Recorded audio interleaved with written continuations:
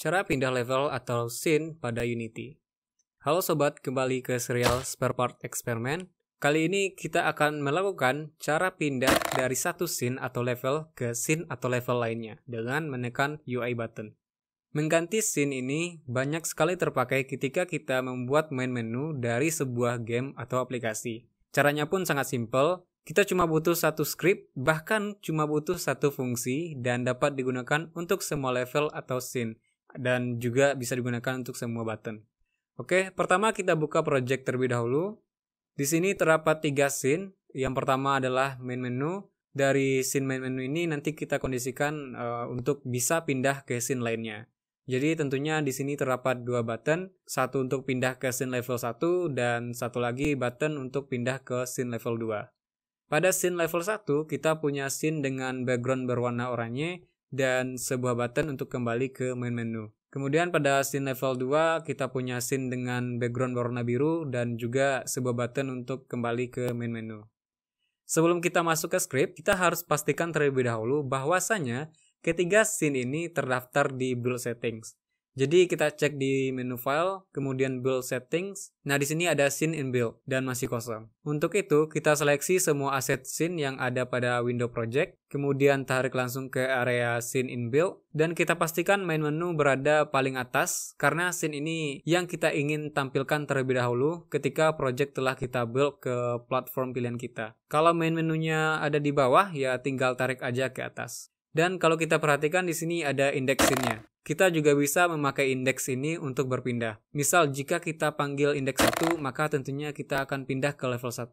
Kalau indeksnya 0 ya ke main menu. Tapi pada video ini pemindahan scene menggunakan indeks tidak akan kita gunakan karena saya rasa agak ribet nantinya. Jadi kita gunakan langsung nama scene-nya untuk berpindah scene. Jadi seperti melakukan absensi, kita langsung panggil nama orangnya, bukan nomor absennya. Oke, setelah kita selesai di sini, kita tutup window build settings-nya. Nah, untuk bisa berpindah scene dari main menu ke scene level 1 atau sebaliknya, kita butuh sebuah script. Jadi kita buat script C Sharp baru dengan nama level manager. Lalu buka script baru ini. Oke, jadi untuk sintak yang akan kita gunakan adalah scene manager.loadScene. Untuk bisa menggunakan sintak ini, kita harus deklarasi library scene management terlebih dahulu. Cukup tulis using unity engine.scene management. Oke, sekarang kita hapus fungsi start dan update karena tidak kita butuhkan. Kemudian kita tambahkan fungsi baru, public void load to scene dalam parameter string scene name. Kemudian di dalam fungsi ini kita tambahkan sintak scene manager.loadScene scene name. Oke, untuk codingnya segini aja. Jangan lupa di save, kembali ke Unity. Untuk script level manager ini kita tarik aja ke canvas. Kemudian kita klik Game Object Button to level 1.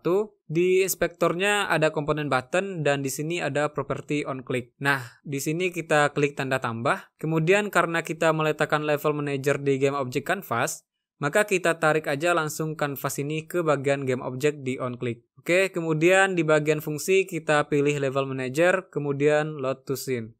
Nah, kemudian muncul kolom teks. Di sini kita masukkan nama scene tujuan perpindahan kita. Karena ini button to level 1, jadi kita tulis di sini level 1. Ingat, nama pada kolom ini harus persis dengan nama scene pada aset. Oke, kita tes dulu. Kita klik button to level 1. Nah, kita langsung berpindah ke scene level 1.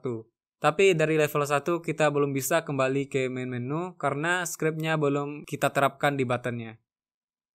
Kita stop dulu. Kemudian kita selesaikan di bagian main menu terlebih dahulu, klik button to level 2, kemudian klik tambah pada on click, dan tarik canvas, kemudian level manager, dan load to scene. Nah, untuk kali ini kita inputkan level 2. Oke, kita save. Kemudian kita beralih ke scene level 1. Kita tarik dulu script level manajernya ke canvas, kemudian button main menu, add on click, tarik canvas, level manager, load to scene, dan kita inputkan main menu pada kolom teks. Sekali lagi diingatkan bahwa yang kita input ke kolom teks harus persis dengan nama scene atau level yang kita tuju. Oke, kita save.